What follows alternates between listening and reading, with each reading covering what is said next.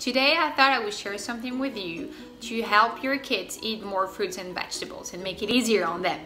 So the way I do it is whenever I go grocery shopping, when I come home, I usually try to peel, cut, and, uh, uh, and prepare all the fruits and vegetables that I've come home from. So just to show you an example, here I have watermelon, I have uh, pineapple, and I have carrots. So I've peeled and the watermelon and cut it in triangles. I've done the same with the pineapple and the carrots. What I do is I peel them and then I store them in water in the fridge.